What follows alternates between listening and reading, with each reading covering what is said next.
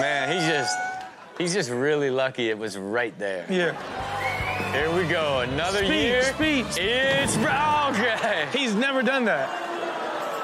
There's nothing worse than the dean giving you the thumbs up after you up. The dean was like, great job, idiot. Great job. Guess who's coming back next year?